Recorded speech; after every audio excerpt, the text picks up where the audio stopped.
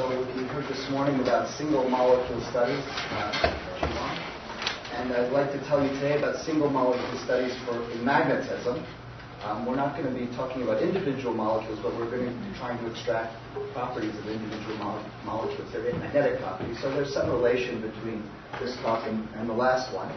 Um, so in this series, this, this talk is about uh, quantum spin dynamics, or how quantum fluctuations affect the properties of very small magnets. So in the last uh, lecture, you saw mostly about what we call, we call classical uh, micromagnetics, uh, where you can describe the dynamics in terms of classical equations of motion. And today we're going to talk about magnets where you really have to have a quantum description of the uh, system in order to understand the, the, the dynamics the. So I'm going to tell you about quantum tunneling of the magnetization, um, what it is, and I'll tell you some of the initial discoveries, some of the materials that, that are highlighting this physics, where you can really examine this physics in, in great detail. These are the materials called single molecule magnets. I'll again uh, over the energy scales, which I mentioned in the first lecture.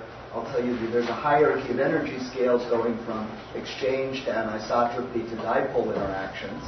Um, and these are actually Ising-like systems. They're magnets that have a preferred axis uh, for magnetization, and the fluctuations are between uh, projections on that preferred axis. So anisotropy plays a very important role. And I'll show, show, you some of the phenomena that are observed in these materials. One is something called resonant quantum tunneling for magnetization. Um, and you can look at crossovers between different regimes of relaxation, thermal activation over the barrier, thermally assisted tunneling, where you have thermal activation and tunneling events, and then pure quantum tunneling, where the system, where quantum fluctuations uh, cause the magnets to, to reverse. And uh, if I have time, I'll tell you about some of the experimental techniques that are being used to probe uh, these, these systems. Okay, so this was also a slide in my first lecture. Uh, we've been now sort of through this side. On large scales, uh, the phenomena you see are dominated by, uh, are determined by nucleation, propagation, and annihilation of domains and domain walls. Uh, if you go to smaller scales, uh, you can imagine a model which considers uh, a system just possessing one magnetic domain uh, is reasonable. That occurs in, in, this range when, when particles are on the scale of, of, ex- of the exchange length in, in the magnet, where exchange forces dominate.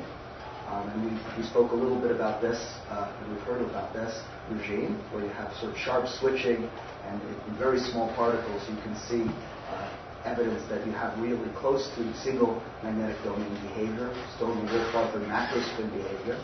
And, and now we're going to go down to this scale, to the scale where we have clusters that just have hundreds of magnetic atoms, and we're going to see that quantum mechanics comes in. And quantum mechanics comes in, in in, an interesting way in two ways. One is we're going to have tra- quantum transitions between states, say between up and down. But the other thing that's going to be very important is that these materials, the molecules, have discrete states. They have discrete spin states. So uh, you have to consider the discrete level structure understand uh, what's going on. And the hysteresis loops are going to have discrete features in them uh, you don't have a continuous relaxation or jumps. You'll have multiple jumps in and hysteresis loops that reflect uh, the quantum nature of these, of these objects. Okay, so um, quantum tunneling was first discussed in the context of magnetism in the, in the 1980s, um, with the idea that what's, what's tunneling is, is the direction of magnetization. That you have a magnetic system which has two preferred directions, either up or down along a particular axis, and you can have fluctuations between those directions. So you can have thermal activation over the barrier. You can imagine preparing a system in upstate and waiting, and over time, at a finite temperature, will find its way uh, to the ground state, and the higher the temperature, the faster that, that system will relax. And what was discussed is the possibility that you could have a direct tunneling event uh, where the system wouldn't have to interact with the environment, where you could have transitions, spontaneous transitions between up and down spin projections of a macroscopic magnet, a magnet which consists of thousands of, of atoms together. So that would give you a temperature-independent behavior, a crossover from regime which is strongly temperature-dependent to regime where uh, the, the relaxation is virtually independent of temperature. Um, so this, this theoretical work stimulated a lot of work on, on different magnetic systems. People were looking at relaxation phenomena and, and trying to see if you had a temperature-independent relaxation uh, process. This is to see evidence of a crossover with quantum regime. Um, so they were looking for some crossover. The crossover temperature would depend on the energy barrier as well as the rate of tunneling, how coupled these, these, these states are. Um, and it was estimated that this could be in the Kelvin range, let's say, for, you know, for certain types of materials. Um, the difficulty uh, in the early days of these studies was that uh, most people were studying ensembles of magnetic particles, and the ensembles had distributions in their properties. There were distributions in the anisotropy, there would be different numbers of atoms in every particle, and that, but this phenomenon is, is really exponentially sensitive to those uh, characteristics. So if you change the number of atoms in your system, you change the energy barrier, which and the rate is exponentially proportional to the energy barrier. The anisotropies determine the coupling between these states, so it's also exponentially sensitive to variations in anisotropy. So as a result, it wasn't easy to, to or wasn't, wasn't, there wasn't really clear evidence for a crossover or pure uh, quantum uh, type of relaxation. Um, so the field of this, this area of, of, inquiry really accelerated with the discovery of molecules that behave like magnets. Um, and this was done in 1993 um, by the group of Roberta Sessoli and, and her collaborators. Uh, what they they synthesized magnetic molecules, which I'll tell you about, um, where they uh, look and they looked at the magnetization behavior. This is magnetization versus temperature, uh, cooling in a uh, in a magnetic field, and then cooling in zero field, and then warming up. And, and you can see this, there's a region where the susceptibility of the magnetization increases as you decrease the temperature. It's behaving like a, a paramagnet or a super paramagnet. And then a region uh, where you have a, a, difference between these two, you have irreversibility. Uh, there's, uh, so you have a, a, difference between the states when you cool in a field and the zero field.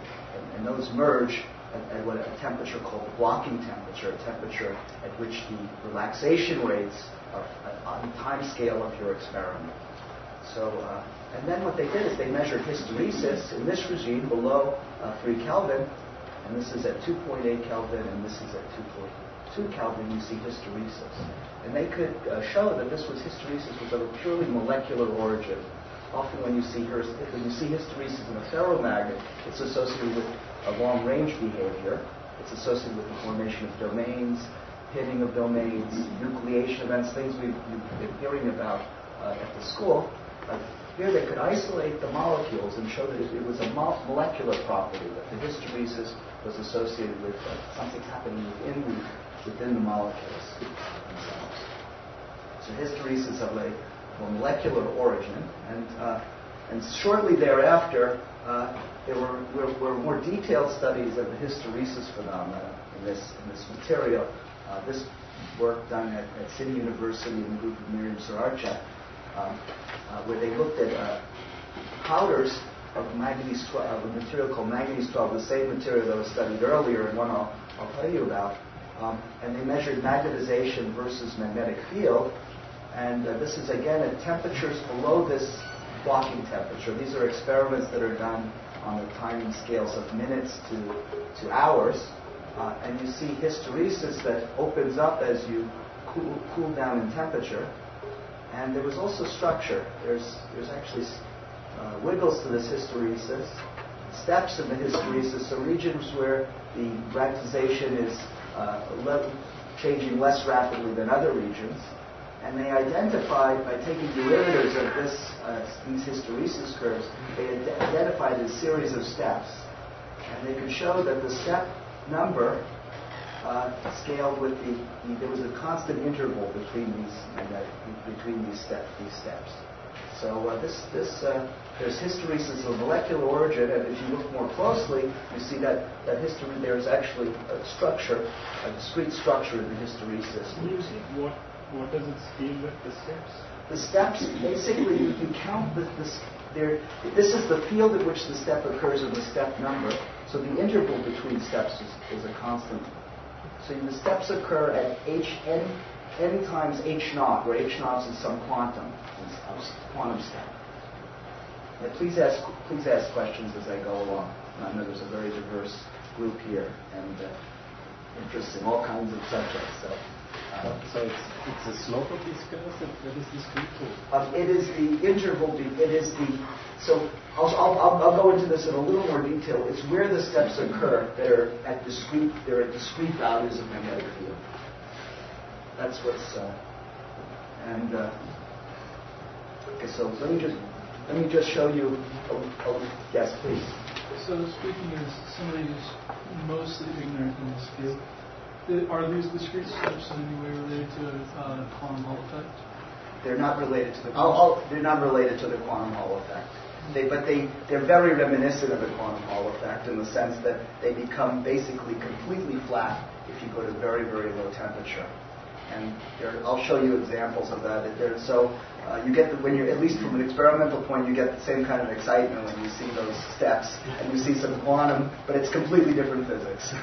okay, and um, Let's see, that's so that's so it's it's it's it's uh, it's associated with the we'll, we'll we'll see that it's associated with anisotropies of the mater- of the of the material in, in this case. Um, so there's another thing I wanted to say about that. It's a, yes, well it'll probably come to me. Uh, the, so yeah, so these are the so this this is, these are the kinds of materials in which uh, these this phenomenon is observed. single molecule magnets.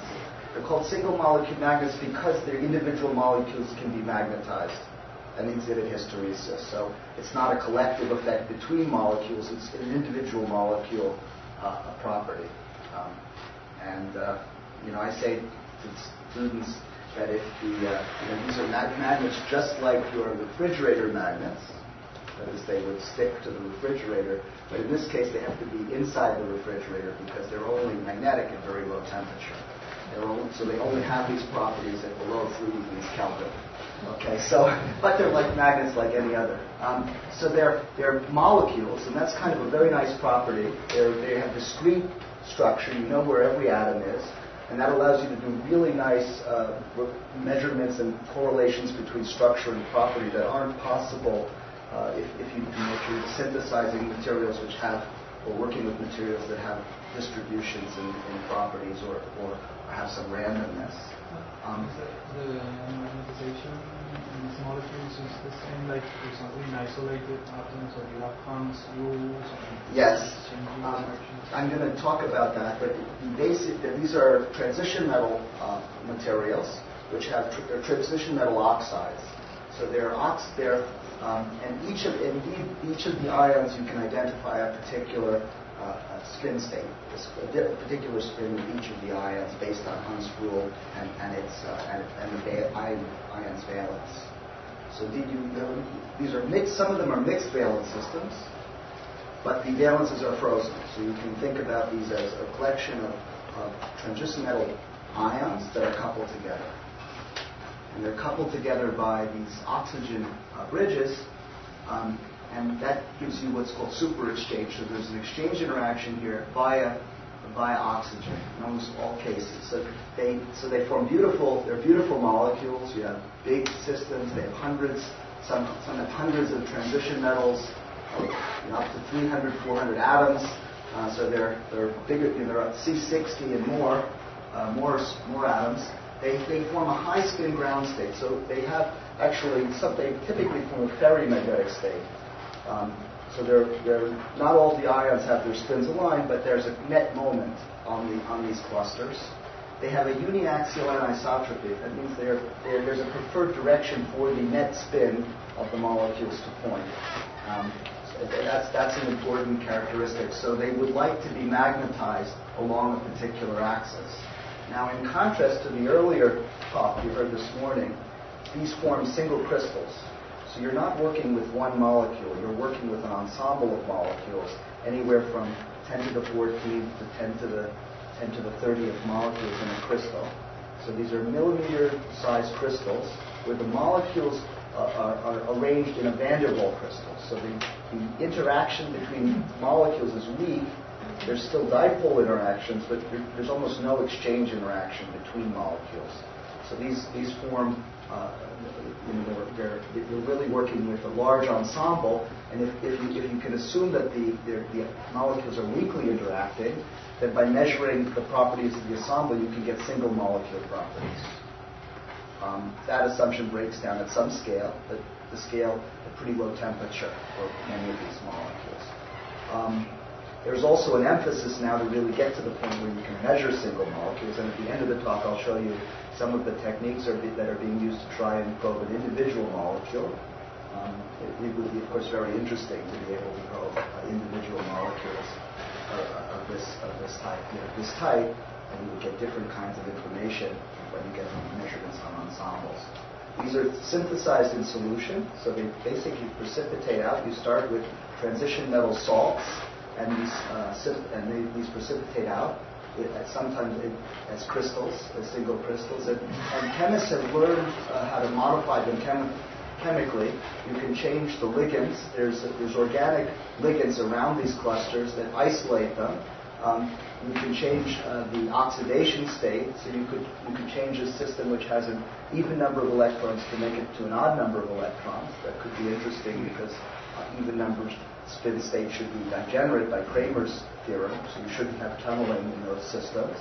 Uh, they're soluble, so if you if you're interested in how, whether the interactions are important, you can dilute the, these materials in a solvent and then study a very dilute solution.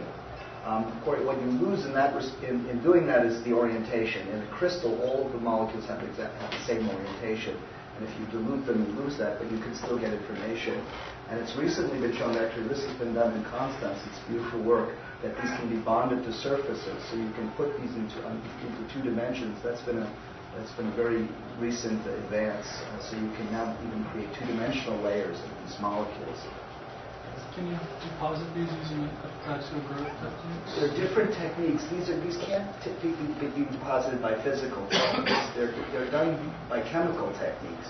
So um, they're done along the line of preparing a surface, preparing a surface with the appropriate functionalization, and then, then linking these molecules to that functionalized surface. So it's, it's, it's, it's wet, chem- wet chemistry kind of techniques that need to be employed here.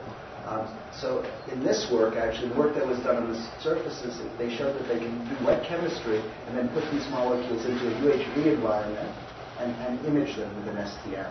So that's pretty remarkable, actually, that you can go from wet, wet, a wet environment to a UHV environment and have the molecules intact on the surface. Um, so you can then employ some of the powerful techniques we have to look at individual molecules with uh, microscopy with these systems. That's very, very new. Um, so these are the these, these, these molecules, manganese 12, which uh, and iron 8 are the most widely studied uh, molecules, and those are the ones I'm going to mainly mention because I can illustrate almost all of the physics uh, that's been discovered in these mo- with these two two examples. So, Excuse me, just yes. uh, sort of historically, you say it's remarkable you can synthesize in uh, in solution and then go to a UHV environment. You know that's what electrochemists did all the time before the in situ uh, local probes came around, like in the last 15 years or so. You, mm-hmm. you deposit, go to UHV, hope that nothing changes mm-hmm. too badly. Mm-hmm. I still think it's remarkable. Yeah. no, that's well, it's, yes, it's, it's not the first time it was. That's not the. That, thank you. That's not the issue. That's. Um, yeah, that's not. It's indeed. Um, so these are the these are the kind of uh, things that have been seen. I showed you that the first thing was that an individual molecule can be magnetized and exhibit magnetic hysteresis. Um, quantum tunneling of the magnetization, which I'll describe, was, was discovered in 1995. Quantum interference quantum phase interference was was seen experimentally in, uh, in a few years later, um, and I'll show you close. Recently, um, there, people have demonstrated various groups, uh, mining as well has been working on this problem of coherence. Can you actually create a coherence between uh, different spin projections? Um, under this talk, I'll cover these two aspects in, in some detail. Um, by starting basically by describing the interactions in this system, manganese 12 acetate.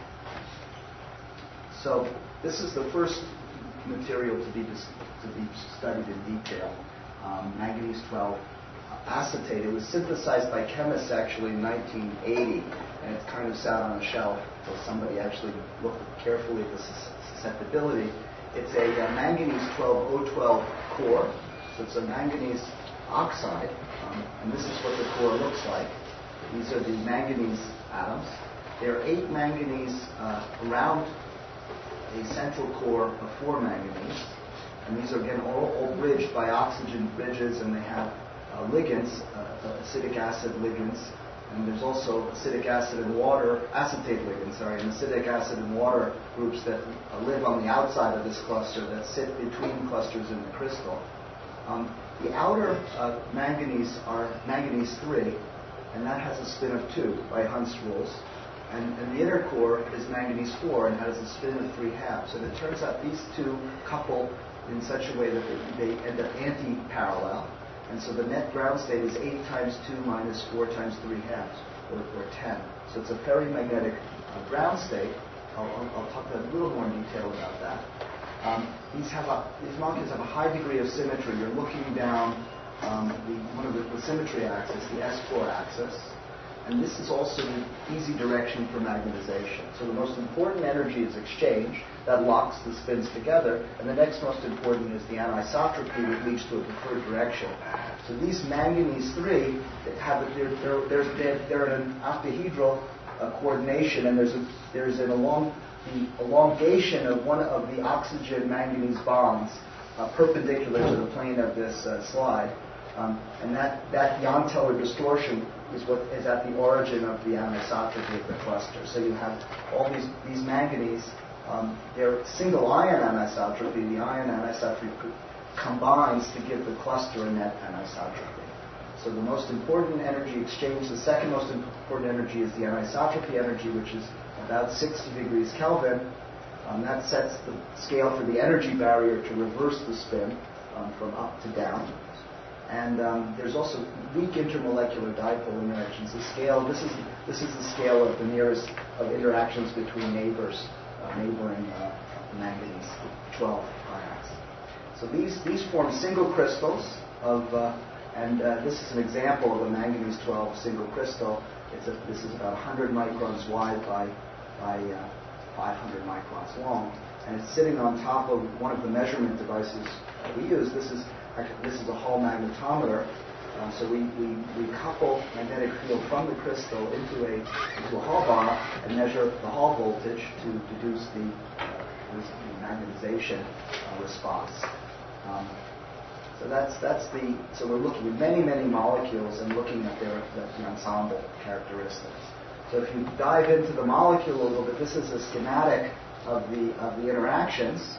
Um, each of the inner core are li- linked to the outer core, uh, the spin 3 half to the spin 2 by two oxygen bridges, which, which you, we characterize by some exchange constant J1. The inner uh, core, uh, we, we write, we, or there's additional interactions in the inner part, which, uh, which is characterized by J3. So you have three uh, different kinds of, ex- four different kinds of exchange pathways in this, in this system and you can write down a Heisenberg Hamiltonian uh, to describe this cluster, which which has these these interactions in it. Um, so this uh, this is the Heisenberg. And there's also a single ion anisotropy. So uh, preferred direction for the single ions, the, the manganese 3, uh, which you can write like this. So J1 is the largest interaction. It's, it's 215 Kelvin, and this uh, is an antiferromagnetic interaction. So it sets the, it, this is what's, what causes these two spins to be anti-parallel. The other interactions are, all, are, are a weaker scale, so those interactions end up frustrated. In the ground state, what you have is a um, is, is, is uh, this, this alignment is the lowest energy state. So about below about 30 Kelvin, you form this kind of ordered state, um, with, with this ferromagnetic order. So you start out with a Hilbert space that is 10 to the 8th, and then because of the strong exchange at low enough temperature, uh, you, you go into a manifold of spin 10. You only have 21 states to worry about, 2s plus 1 uh, states to worry about. So uh, this, you can think about this as a, ma- a microscopic view of a single domain system.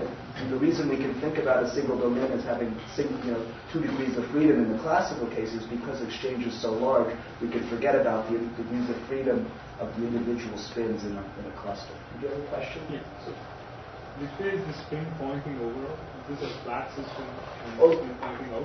Yeah, yeah, the spins are, um, this is a more, the, the spins are pointing out of the page in this, in this direct, in this, in this, in this, uh, along, along the S4 axis. So, um, it's not a planar molecule, but it's, it's, it's a, uh, I think it, it's asymmetric. It's, it's, uh, it's, I believe it's, it's uh, wider in this direction than it is in, in, in, the, uh, in the S4 dire- in the direction of the S4 axis. These I didn't mention. These are the lattice constants of the crystal. So each of the molecules is separated by one to two nanometers from each other. They form actually a body-centered tetragonal lattice. Is there some superheat between the outer core manganese? Um, between the outer core of, of separated manganese, um, that's broken because of the, to, to a large extent because of the organic ligands on the outside of the cluster. So there are situations that you can, you can engineer, you can chemically engineer where you have exchange coupling between molecules. Um, and uh, but in, this, in these molecules, it, it, the exchange is very, very weak. It's mainly dipole interaction. There's actually a beautiful example of a manganese 4 dimer where the chemist succeeded to couple two dimers by exchange. And then you could have, uh, then you could look at the coupled system, and you'd have actually dynamics associated of this coupled system. Uh, there's, a, there's some very beautiful work on that. Um, I would say the emphasis so far, though, has been on systems where you, you build up, you don't have extended exchange. You build up exchange like uh, one by, you know, so you have dimers or trimers on that, on that scale. And uh, I guess one of the big uh, goals in the field would be to find a way to control the exchange. If you could put a linker where you could turn on and off the exchange, that would be very, very interesting. And the chemists are working on trying to find ways to manipulate exchange. Um, the, the, it, would be, it would be very nice to have tunability in a particular system. So right now we have tunability in something. Someone gives you a crystal and they've made some changes, but it, it would be very nice if we could, if we could actively change the characteristics and look at the, at the response. That's, that's an active uh, research area. Okay. Excuse me, for the last. I'm confused how to divide the S equal 10 from the How do you develop the S equals 10? You have, um, you have 8 um, S equals 2 ions, 16, and then you have four s equals 3 half ions. So it's 16 minus, minus 6 Yes. gives you that. That gives you this, so it's a ferromagnetic ground state of the cluster. Okay. Uh, so you just calculate the component and you find the Yes, well, so- ground state is S equal. Okay, how do you that? Okay, that's a, yeah, that's a separate question. Okay, so this so that so this is the these interactions you can deduce from uh, experiments and some knowledge of the chemistry. Um, the S equals 10 ground state you can show most clearly by doing spectroscopy. So you, what, you can do what's called EPR spectroscopy, electron paramagnetic resonance, and from the number of transitions you see in electron, you have, if you have 21 levels, you have a certain number of transitions you could have, 20 possible transitions. So by doing EPR, you can you, can deduce the spin state. So the spin state can be reduced through EPR, also through magnetization measurements. If you accurately measure the magnetization and you know the moment of each cluster, you can also reduce the spin state. So those are this. Um, this is the. Uh, this can be deduced from experiment, and these parameters can also be determined experimentally to I'd say you can the spin 10 state can be definitively established experimentally. These parameters, it's not they're not unique fits to determine these parameters uh, to be Hamiltonian. What is the second phenomenon that we come That's a, that's a single ion anisotropy. So that's a, a d uh, s i squared. Maybe it should it's it, it, it's it sets so d is a tensor. It can it picks a particular direction. In this case, the z direction for uh, for the preferred uh, axis. And you don't you do not consider the uh, super exchange interaction. And this these are this these are the this is the super exchange. This characterizes the super exchange interaction. So it's a it's a it's a anti-ferromagnetic interaction.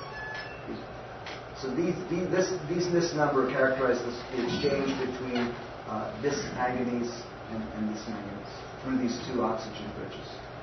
But the question is that the not, not super exchange interaction. If this is a mo- yeah, this I'm, I'm characterizing the super exchange by, by the effective interaction between the two between the two states. Super exchange is S I cross S You're worried about anisotropy of these of the exchange now? Exchange is uh, is S I cross S J and then dot some some. That would be an anisotropic exchange interaction. I'm, I'm- so I'm characterizing this by an isotropic exchange interaction. It is possible, of course, to have an isotropic exchange, but um, we have, maybe we should discuss this later.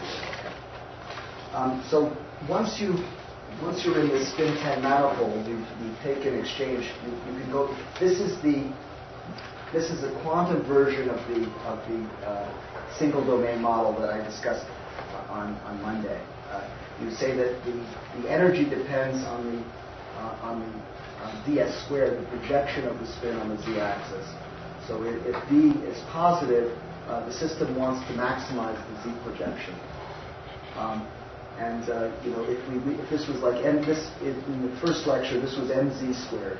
So so now instead of the difference here now, then if, if, if in this Hamiltonian uh, minus dsz squared, sz states of the are eigenstates of sz. So you can characterize the states by their projection on the on the z-axis. And so you have 21 possible levels. And it's customary, uh, you could just draw out these 21 levels. It's customary to classify them as to whether their projections are positive or negative along the z-axis to kind of to make the correspondence with the classical model uh, of, of, an energy uh, barrier. So the energies just go as minus dm squared, and uh, you have a ladder of states where the energies get closer as you go up, and you have an energy barrier that's ds squared, and d is about 0.6 Kelvin S squared is, uh, is 100, so that gives you the energy barrier of 60 degrees uh, Kelvin. And if you want to think about this classically, this is the same energy surface we saw on Monday. There's a north and a south pole and an energy barrier to reverse. If you want to think about this quantum mechanically, you have to, if you want to have transitions and, and, and dynamics, you need to have some coupling between these states, which is not yet, we haven't put any, any in yet. Okay, we just we were just describing what what an ideal axially symmetric molecule, a molecule with cylindrical symmetry, uh, would have. Um, so you can the relaxation processes you can have if you're at high temperature. Uh, you should be able to think about this classically. That you have thermal activation up to the top of the barrier, and then and then relax then uh, relaxation. So um, if this is occurring on a fast enough time scale, much faster than your measurement time, if you measure the magnetization while you, along the z-axis when you apply a field, you'll get a, uh, a, a curve like this, a Brillouin function, um, which just reflects the, uh, the equilibrium of magnetization in any particular field. So this is called superparamagnetic behavior. The, the system is just behaving like a paramagnet. Instead of being an individual spin, it's a collection of spins, so that's where the super uh, comes in. Um, and so the slope is, is higher than you would have for a, uh, a paramagnet. Um, if you go to lower temperature, uh, you would have um, you have a situation where uh, the system can't reverse uh, thermally. Um, now you have to worry about the level structure. You don't even have to worry about the level structure at high temperature, but now it becomes particularly uh, uh, important. Um, that is, there can only what, what, there can only be transitions uh, when levels are crossing.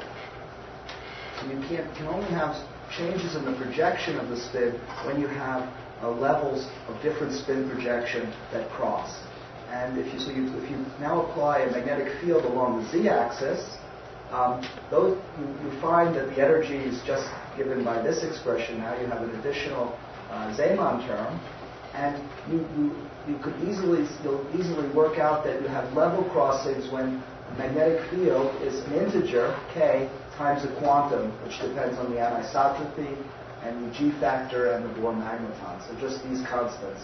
So that's the origin of this of this quantumness of the steps is that you can only have dynamics when there's particular particular values of magnetic field when you have level crossings in the system. So it's it's uh, it's it's uh, understanding where the steps occur is, is pretty straightforward. Uh, you have level crossings, and this is an example of measurement. Uh, this is done on a single crystal, so now that these are much, much sharper steps, and probably at around 1 Kelvin.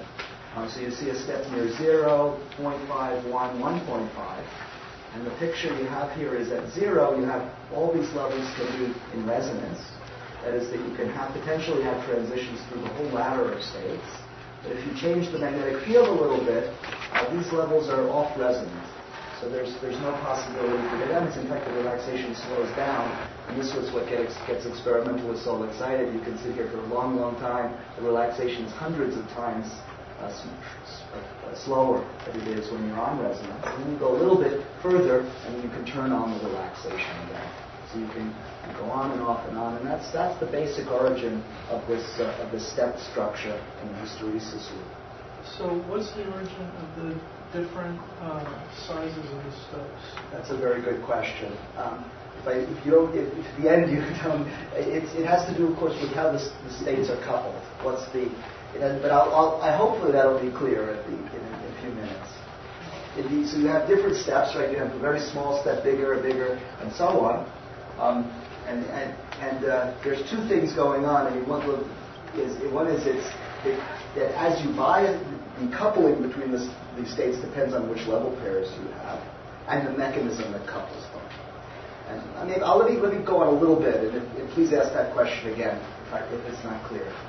So, uh, so uh, in this way, if, if, you, if the initial if initial state is uh, in the, some uh, state in the vector graph, yes, and and then if you uh, reverse the field, if you change the field vector the field vector, you you should uh, with some non-homogeneous transition, you can go from this state to this state. That's, that's right. It depends on how, this is a dynamic phenomenon, so it depends on how fast you apply the magnetic field. If you apply very quick magnetic fields, you expect to see, uh, have bigger hysteresis, large, and, and step, you expect to see bigger steps, steps of larger K, larger magnetic fields. Mm-hmm. So you can't see a step, so once the system has relaxed, there's no possibility. So if you, this is a dynamic. So these, the size of the steps and where, and how many you see depends on how fast you're uh, doing the experiment, how fast you're ramping the magnetic field in this case. So you need a non-zero matrix element between the states. That's right, exactly. You need, so nothing I've shown now tells you why why there is tunneling. In fact, that was uh, one of the big questions in the, in, the beginning. There's, we need we need something that doesn't commute with SZ so if we have an axially symmetric system, we won't have any dynamics. Um, but we can at least understand where the steps are, are, occurring, and we now we just need to find out what that interaction is, or we can do, or we can, in the laboratory, we can apply a transverse field to create an interaction which breaks the symmetry and causes the effect. And, and that's, I'll tell you about that. Um, so there's, I told you there's thermally, there's thermal activation over the barrier. There's also a, po- a, possibility of a process where there's thermal activation up to some excited state and then, and then tunneling across uh, the barrier. So you, this is called thermally assisted tunneling. And so as you go to higher temperature, you have population in these, in these levels, and you can have processes that take you across the barrier at some high level in, in the ski. Can you distinguish between the tunneling from, say, the n plus 8 to the n minus 2 state here and the relaxation from n minus 2 to n minus 10 Can you distinguish in the yeah, experiment? in the experiment? Um, this, so you can So, I actually. mean, I would, I would anticipate that there would be some sort of signal as, as it Yes, releases some energy Yeah, this to, you to could make dis- the transition This you could distinguish through the heat release. In the, you could distinguish that there's heat released in the system. If you could accurately calibrate that heat, you might know which level pairs are, are participating in that process. You could also do spectroscopy, which is which would tell you which levels are being populated during during this process. And if you, and you can do a spectroscopy actually tell you which level pairs are the important ones in the process in the in this in this in the tunneling process. But in the in the uh, this time scale is fairly quick. The relaxation is a fairly quick process com- in, in, in compared to uh, the uh, process in this uh, in, these hysteresis measurements I'm showing you. So what's the time scale we're talking about? So the, so the time scale of the in, in this in this in the hysteresis experiment, the time scales are like kilo per, milliseconds for tunneling, and the relaxation times are microseconds for the, for the, for the relaxation from these excited states. Just wondering when, when you have thermally assisted quantum tunneling, whether I can pretty much assume that it's just one transition because if, because it'll it's much less likely to be excited to the next energy level. On the other hand, if at a lower level energy level the barrier is much wider and suppresses the quantum transition. So you're like You're one- anticipating my my talk. And it's, a, it's, a, it's a bright crowd.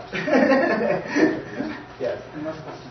Uh, so, uh, if you consider, uh, if the, the material is not is not enough, is, it possible for some other study in in, uh, in other S for, for other study in other S thing will be be developed with the, the, in this in this in the S equal ten? Yeah, that's, uh, that's a very good question. I mean, could there be other spin multiplets that are important in the relaxation processes?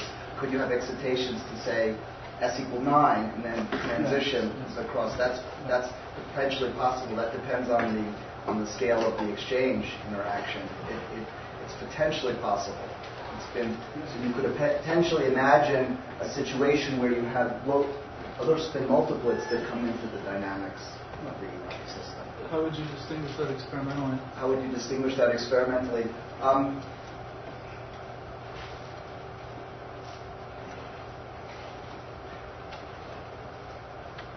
I would think that probably the most direct probe would be a spectroscopic probe.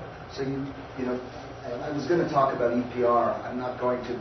I do. I can pull can, I can later on if there's time. But you can, for EPR, you can actually monitor the populations of the excited of the states and know because the, these are non-equidistant, you have a, signature for each for the for the state that these these, these spins traverse. So you can do spectroscopy of the of these processes. Uh, um, so finally, this is so. This is what you were talking about. Um, so one question is, how do you actually go from a thermally activated process over the barrier to quantum tunneling? Uh, and this is one paper that was written on, on the subject. You could have actually a transition where uh, the, the, so this is the log of the rate of transitions uh, versus temperature. You could have different types of crossover phenomena. You can have a crossover where the log of the rate is a smooth function of temperature, or you can have a crossover uh, where there's a discontinuity in the slope with the log of the rate versus temperature. And so these have been called first and second order transitions, and these correspond uh, to what Pierre was, was talking about. That is the, the, the energy that's important, the, the levels that, that, are important for the relaxation can change as you change the temperature. High temperature at the top of the barrier, at low temperature there's no thermal excitation. It has to be through the bottom of the barrier. The question is how does it go from one to the other? It can go it's kind of down the down the level scheme. That is, as you lower the temperature, you can sample lower and lower levels in the scheme. Or you could have a situation where there's the rate is so much hot. You have you have two exponentials in some sense. You have a very the, the split, the coupling between levels at the top of the scheme is much much larger than those at the bottom. But the thermal population of the states at the top level is exponentially small. So you have these competing factors. And you can have a case where the where transitions at the top of the level can can effectively compete with transitions at the bottom just because of these, these two, two exponential factors. And I think there's, it depends basically on the form of the interaction that breaks the symmetry. In a classical, in a particle in a, in a potential well, it depends on the, the, the potential, whether it's uh, minus x squared plus x to the fourth or minus x squared minus x to the fourth, whether the potential gets deeper or shallower as you, um, as you, as you go out in x. And, and what this paper showed is that you could map the problem of the spin tunneling onto this kind of particle problem, and then a uniaxial magnet with a small transverse field uh, can behave, can have this kind of uh, sharp transition between thermal activation near the top of the barrier and thermal activation and, and, tunneling near the bottom potential. Oh well. So, actually, so that the this can be probed in experiment, um, and I, I, I, probably should have showed a slide about how that that works, but um, this is a this is a this is this is a level this is an experiment we did actually on this problem it, it, it, turns out in manganese 12, uh, there's an additional uh, higher order anisotropy uh, in the of the molecules, a term that goes as BSC to the fourth. Uh, that's been determined spectroscopically. So you have a, a you, there's a small term that actually leads to a situation where levels in different uh, height, different m, cross at different longitudinal magnetic fields. So instead of the crossing the fields at which two levels cross being just n times an integer, and, an integer times a quantum magnetic field, you now have additional uh, an additional term that where the uh, where the where, which depends on which levels are crossing, which we're calling the escape level. And this shows the Zeeman diagram. This is the these are uh, the, the where, where you're just looking at the energy relative uh, to the energy of the m equals 10 state, and you're looking at how, the, when you apply a magnetic field, you're seeing where m equals 10 crosses m equals minus 9, crosses m equals minus 8, and 7. But as you go up, as you go up in the scheme, these levels cross with slightly different uh, applied uh, magnetic fields. So by looking actually carefully at the hysteresis loops, you can tell which level pairs are, are, are dominating the relaxation process. So that was kind of fortunate. Um, you know, you have a ski, you can do just spectroscopy by just doing hysteresis measurements. I know you, so uh, it's, it's uh, this is an example. So this is an example of experiments which which we did to look at the transition. You can look at the transit. This is relaxation. These are relaxation experiments. You just apply a magnetic field and you wait and you watch the magnetization decay. Um, and uh, these are experiments of the function temperature. If you do that, you can see that at some temperature, about one degree Kelvin, the curves all start to overlap. And, uh, and at that point, there's, there's no longer any temperature dependence to the relaxation. That shows you're crossing over to the pure quantum regime. But you can also do an experiment where you sweep the magnetic field, and you take the, this is the derivative of the magnetization uh, hysteresis loop, um, and, and, and so the derivative corresponds, the maximum, maximum and the derivative correspond to points where the loop is steepest, where the relaxation is fastest. And if you look carefully, you can see peaks in this, in this, uh, in this, in this uh, loop, in this, in this derivative. And, and you can follow basically where the maximal change in magnetization is occurring. Um, so as you go from one degree down to 0.6 uh, degrees, you can see there's first the relaxation occurs at lower magnetic field, and then as you lower the temperature, it starts to occur at higher longitudinal magnetic field, and then it stays uh, independent of temperature. And this is at a, a, field of 20 degrees to the axial direction, and this is a field of 30 degrees. Um, so we could follow this, and, and in the case where the field was axial, what you see is that you have a the dominant levels in the scheme are, are, are, are higher up, then you have a trend, and for that in about, in a region of that one Kelvin, you have transitions that are dominated by these, these levels, and then in a very narrow interval of temperature, um, 0.1 Kelvin, you, you, you go to you go to transitions that are dominated by, by, tra- by tunneling from the, from the ground state. Um, so this is a, nice, is a, a system where you can really look carefully at how the system goes from thermal activation to, to pure quantum. Um, and recently, uh, Wolfgang Wernsdorfer has repeated this experiment on, even, on better crystals than we had uh, at the time, and you could really distinguish fine details of this of this transition from from thermal activation, thermally assisted tunneling to pure quantum tunneling. Okay, I'm going to come to this question of what causes the tunneling. Um, you can apply it, in those experiments we applied a transverse field to break the symmetry, but there's a basic question of intrinsically what breaks the symmetry of, that, of the system. And um, so what is this term, basically, in the Hamiltonian that doesn't commute with SZ? Um, so basically, this ter- the form it can have is determined by the symmetry of the molecules. And uh, for iron 8, Iron 8 has lower symmetry, C2 site symmetry. The first allowed term is of, is of this form, ESX squared minus SY squared, which says that the x-axis is harder than the y-axis. So there's a hard and a medium axis in the plane, in the xy plane.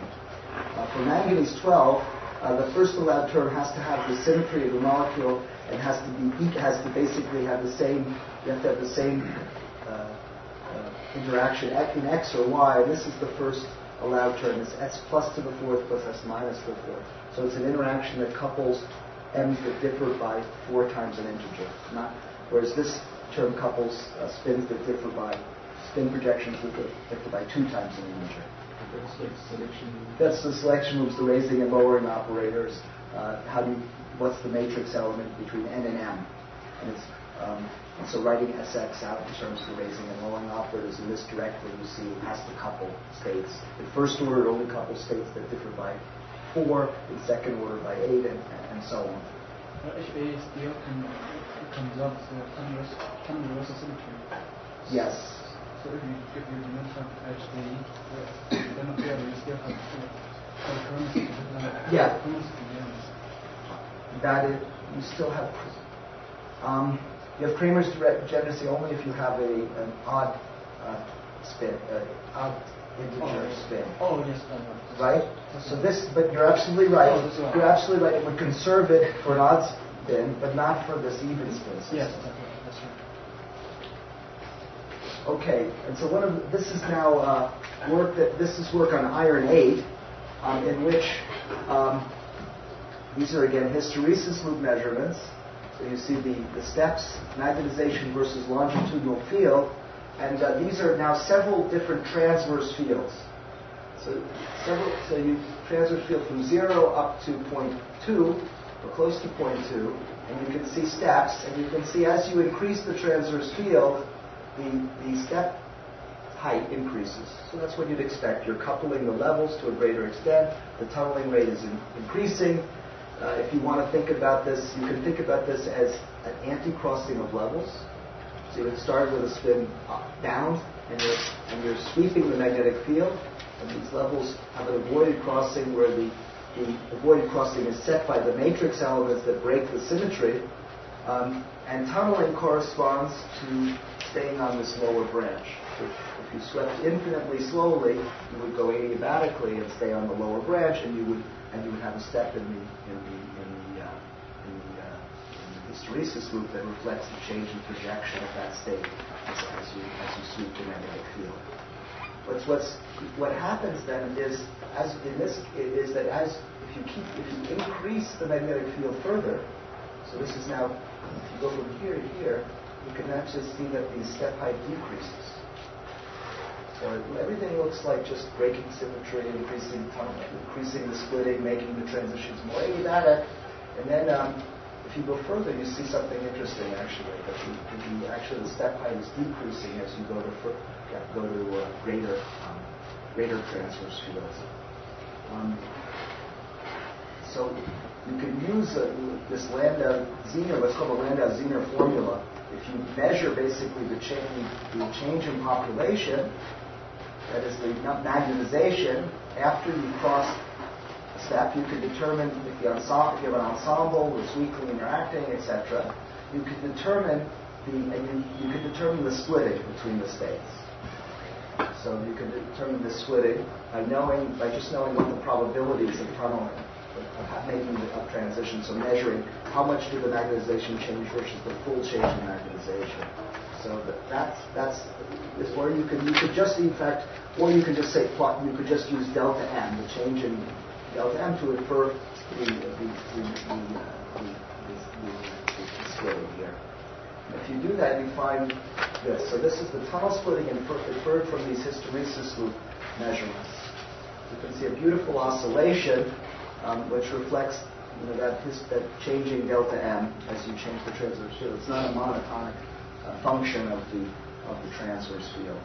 So uh, this it depends actually on which level pairs are crossing. This is n equals zero for the symmetric situation. This is a bias situation, the inverter bias. Um, and this is one of the big discoveries in this area was uh, quantum interference and spin tunneling. Um, this was an effect called the spin parity effect in quantum tunneling. It was first uh, proposed theoretically uh, by Daniel Loss and, and by, uh, by Von Delft and Henley at the same time. And uh, what, what they said is that indeed, when you, if you have tunneling in a system, you can have a situation where you have interference um, that is the, if you think about the axial systems, the tunneling can be a, a, reversal of the spins either clockwise or counterclockwise. And there's a phase associated with the spin traversing these paths, a Berry phase. And those, the phase can be such that, that you have destructive interference, and you're basically the splitting goes to zero. You can see that either through this kind of class. So this was a showing how you include the quantum phase in the classical uh, picture you have for, for tunneling of a big spin, the Lagrangian for a big spin system. You could also see the same physics by just looking at the spin Hamiltonian and diagonalizing it and seeing that you actually get get zeros. This is actually so this this is actually what you'd expect for that spin Hamiltonian. I, I, I showed you if you have E sx squared minus sy squared, you actually have maxima and minima in the splitting that reflect uh, that that reflect the symmetry. You have a, a maximum at zero, and this, and this, if you like, this could be, you could, this is, so these points would be points where selection rules would prevent, would prevent, uh, prevent tunneling. So. I remember for only half integers in the, it can be perfectly destructive. That's right. For half, in, well, this is this should be perfectly destructive in that simple model. Um, but yes, for half integer spin, it, there should be uh, also if with no magnet, if there are no magnetic fields, that, so if there's time reversal, it should be perfectly destructive. That's right. Uh, so this was a very nice. Actually, this was actually predicted for a biaxial system before we knew, before we, we had found a system that would, was biaxial and this type. So this was very nice, and it's a prediction for exactly the Hamiltonian. And the reason these don't go to zero is likely that there are magnetic fields involved. In fact, you know, we've thrown away all the dipole fields. There are also hyperfine fields. So there are things that break that symmetry uh, in, in, in, the, in the uh, real system. Um, and you can also, this is a picture of how what the energy surface looks like, and these are the tunneling paths that are interfering. And as you, so you're applying a field along the hard axis, you're distorting the paths and bringing them more toward the field direction. So you're changing the path length, you're changing the area encompassed on, this, on a sphere, and you're changing, that's how you change the phase. And uh, so if, you, if, the field is perfectly aligned, you, can, you have a strong interference. And if you break that symmetry by applying the field at an angle, you also wash out that, that interference pattern. So it's a, it's a, it's a, it's a, very, it's a, it's a very beautiful result, this quantum interference in, in, in single molecule magnets. Um, okay, I guess I'm nearing the end. I, I, will show you some of the techniques that are, that are being used uh, for studying these. There are a number of techniques. I mean, actually, could give a whole lecture on the, and more on the, on the techniques that are being used. I mean, I think the important ones are spectroscopy, EPR spectroscopy, allows us to determine the spin Hamiltonian parameters. Standard uh, magnetic measurement susceptibility is very important toward establishing uh, the, the, the, spin states and the interactions.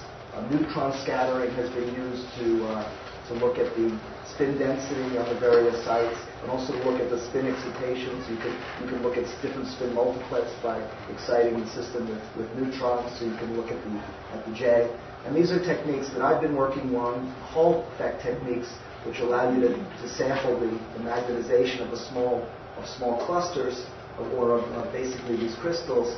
And then the other technique that's been used is micro SQUIDs, where you where you look use a, a superconducting quantum interference device to look at the magnetization or the flux coming from the samples. This this is the technique we're using in my lab. Um, in Florida, uh, Steve von Molnar has developed these techniques down to the point where you can detect uh, single particles on the order of 10 to the second 10 to the second Bohr magnetons, which is remarkable. Now, in order to get to detect a single molecule, you would need Bohr magneton type sensitivities. Um, that's in principle possible uh, with SQUIDs. Uh, you want to say something? Uh, just, uh, just amusing when when they first got that single particle actually, Steve just ran around from office to office showing the results. He was so excited. So excited. So I was, I, I think you probably know, I was a postdoc with Steve. Yeah. And we, we developed, we started to do this, these measurements at that, develop the Hall bars at that time. And then, yeah, then we, you know, the goal was even in night to, to do. And I'm, I'm very amazed that he actually stuck with it for so long. I don't have the patience to do that. But, uh, but he, yes, it's really amazing, actually, that he gets to single spin. And, and where I, I, and there's some really remarkable work also going on uh, in Grenoble, um, where they're using, where they're trying to develop a nano-SQUID, which would be able to detect a single molecule. So the idea is to replace one of the weak links of the SQUID with a carbon nanotube. It's a cover of nature. Uh, and so this is niobium. This is a single wall nanotube. And the idea is to put a molecule right on the nanotube so you could sense the magnetic moment of an individual molecule. These are pretty hard experiments. I think I'd rather do pull. I'd rather pull molecules with an AFM than try to do this experiment. Uh, but it's it's it's really it's getting close to the point where you could interrogate um, an individual molecule. This technique may be one that allows you to get down to single molecules. Uh, there's also magnetic resonance force microscopy.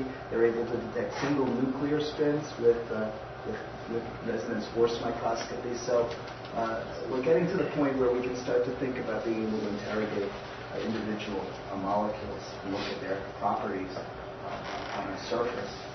So this is what I told you about. I told you just to give you a big little introduction to the field. Um, there's a lot of physics going on in this area, um, and, and, and most of the work so far has been done on three-dimensional crystals, but there's now work on surfaces, so on, and, and uh, these are the kinds of things that we, we've actually really been able to look very carefully at this phenomenon of quantum tunneling, thermally activated tunneling, thermally assisted impure. We've been able to look at the crossover between the regimes. There's been this nice, very nice discovery of quantum phase interference, first theoretical and then experimental, and there it's also led to, to do to, to experimentalists to push the experimental techniques to increase the sensitivity of the, of the methods. Thank you.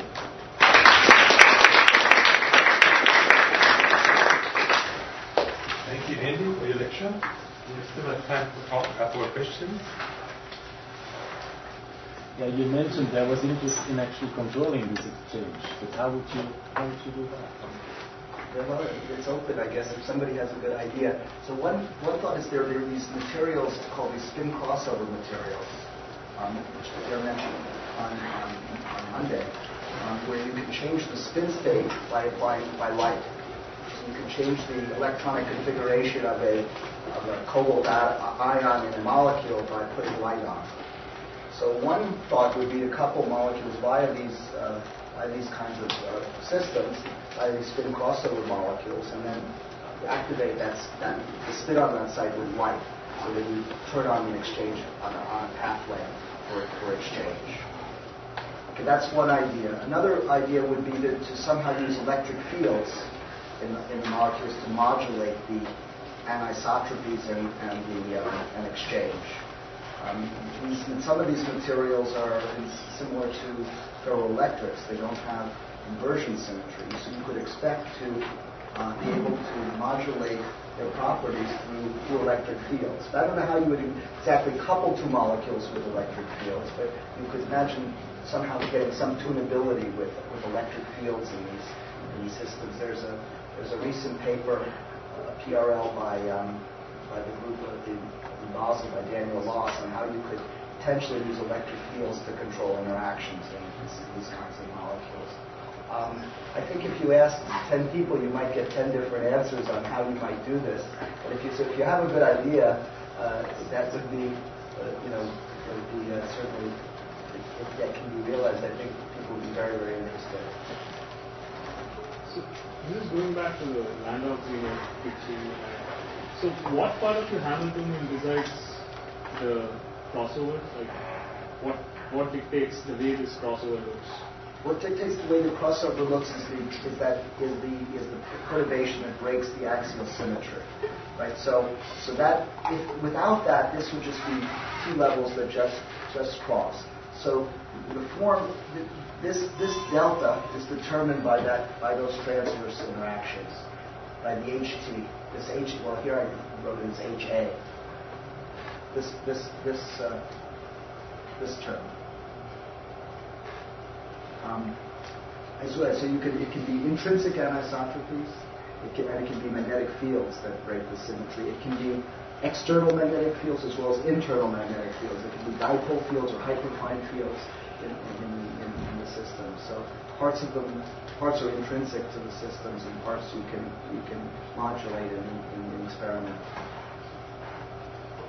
Yes. Uh, I, I think your explanation for Thomas speaking, Thomas speaking and computer speaking. Um, uh, th- this explanation is uh, well, I, for, for the for the next uh, uh, slide. So um, why the the Thomas speaking uh, oscillates with the uh, versus the magnetic field? Why does it oscillate? Why it oscillate? Um, okay, there, I can give you a very uh, I, the, the physical picture is that you that your energy surface looks like this. So, okay, imagine this is uh, kind of a figure eight.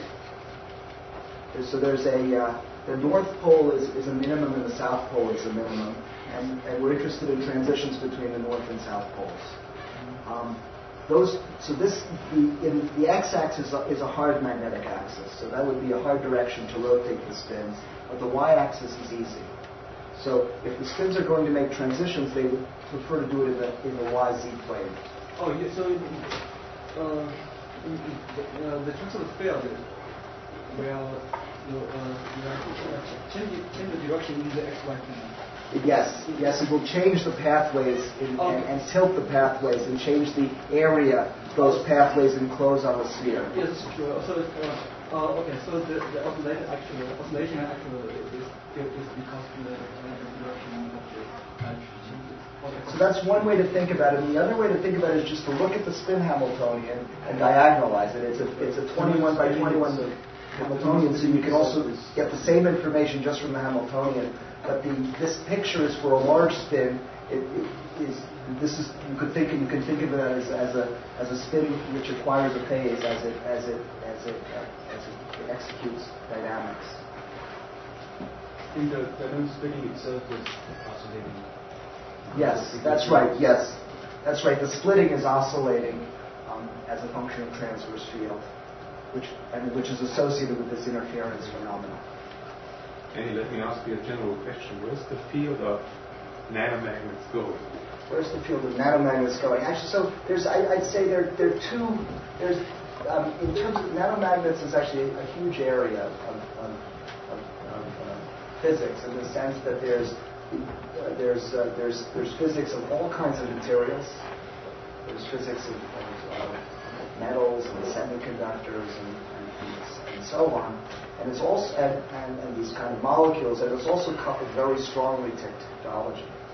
So we I mean, and then we store a lot of information in very small magnets. So it's, it's a field where there's both physics and technology.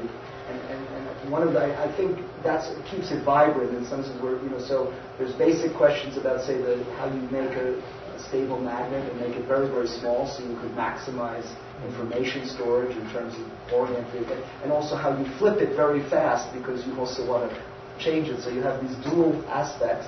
And it's, it's key. It, it, it makes the field very lively because discoveries in, in, in physics can translate rapidly into, into technology. I mean, giant magnetoresistance is an example of that. So I think it's, it's, a, it's, a, it's, a, it's a vi- vibrant field. It's bringing together people who do material science it's, and, and, and physics and, and, people, and people in industry. So now, where is it going? I, I, well, my, I, you know, I, I think some of the, the things I've spoken about are areas I think are very exciting. This interaction between spin currents and magnetization, I think, is a very exciting area because you, you can manipulate magnets now with spin currents, and you can do it very quickly, and it's, and it's, and it's exchange interaction. Are many things that are not understood about that.